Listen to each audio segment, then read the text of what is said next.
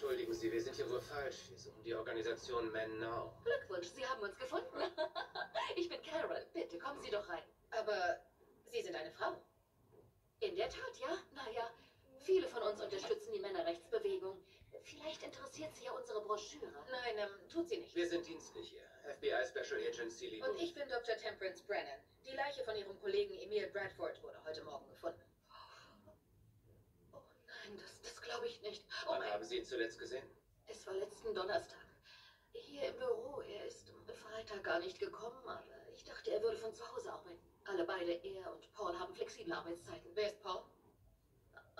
Das, das ist mein Mann. Er und Emil haben Men Now gegründet. Naja, ich äh, komme her, wenn es meine Zeit zulässt, aber für die beiden ist es ein Vollzeitjob. Wo ist er jetzt? Wir müssten mit ihm sprechen. Ja. Tut mir leid, er befindet sich gerade in einer Mitgliederversammlung. Wirklich? Und wir befinden uns gerade in einer Mordermittlung.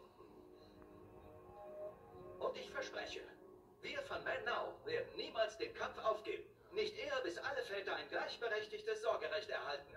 Nicht, bis der Wehrdienst auch in vollem Umfang von Frauen verlangt wird. Und nicht, solange der Kongress alle Vergewaltigungsschutzgesetze revidiert hat.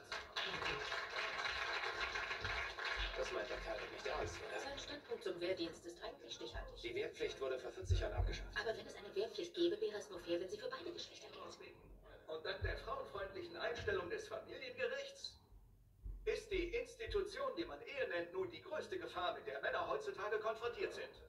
Also das Schlimmste an dieser Rede ist, dass diese Hirne sie ihm zustimmen. Also ich bin nicht überrascht, wenn man bedenkt, dass matriarchalische Gesellschaften schon geherrscht haben vom Paläolithikum bis zu 3000 vor Christus. Kerl gerne eine reinhauen. Alles, was ich damit sagen will, ist, wenn sich eine Frau wie eine Nutte anzieht, dann müsste sie auch ein Schild tragen, auf dem steht, vergewaltige mich.